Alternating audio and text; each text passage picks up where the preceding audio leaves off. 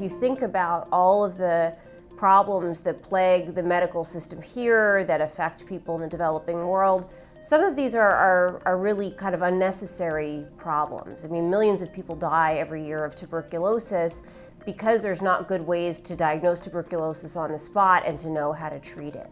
Today, a sample is taken from the patient and then sent to a lab, which may be 10 or 100 miles away. Um, sending that sample, getting the results back, it takes a lot of time. So we've been working on tools to allow disease to be diagnosed much faster. We were both really interested in nanomaterials and what you could do with them. And she brought this great depth in nucleic acids chemistry, so in the chemistry of DNA. And I was interested in nanomaterials more as an engineer, trying to make materials with better properties. And so by working together, Shana and I and our teams were able to go from this scientific proof of principle of incredibly sensitive DNA detection uh, and take it to something that could be engineered, uh, constructed on a manufacturable platform.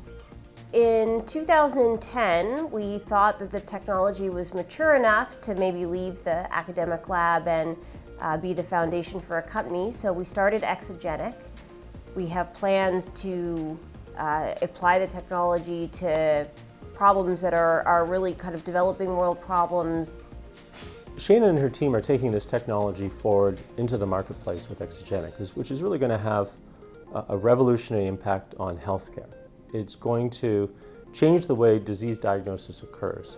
Uh, a sample is taken from a patient, it's put into the cartridge, cartridge goes into the testing instrument, and then a diagnostic test result is returned 20 minutes later. It's been very exciting to see something go from kind of our early proof of concept into a real product.